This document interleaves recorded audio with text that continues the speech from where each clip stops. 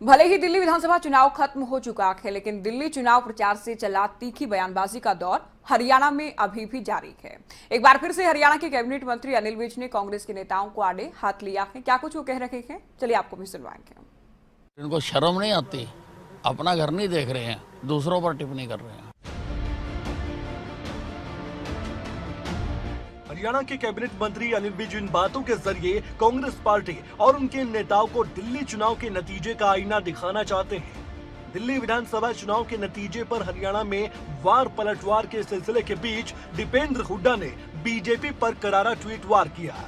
Tweet में दीपेंद्र हुड्डा ने कहा, पड़ोसी राज्य दिल्ली में शानदार जीत पर अरविंद केजरीवाल जी को बहुत बधाई एवं शुभकामनाएँ।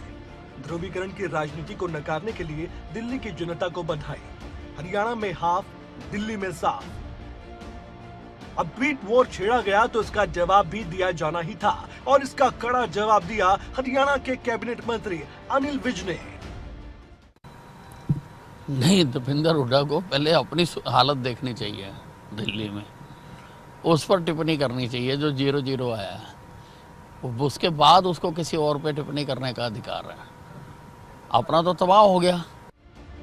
दीपेंद्र हुड्डा से दो कदम आगे बढ़ते हुए विज ने कांग्रेस पर बरसते हुए आम आदमी पार्टी के साथ अंडरग्राउंड गठबंधन तक के आरोप मर दिए। आप, आपके साथ कांग्रेस ने गठबंधन करके अंडरग्राउंड सारी वोटें आप पार्टी को डलवाई हैं और कांग्रेस का जो वोट परसेंटेज है वो केवल चार प्रतिशत रह गया। इससे पहले अनिल विज ने दिल्ली में आम आदमी पार्टी की जीत पर यह कहा था कि ये जीत मुफ़्त खोरी की जीत है।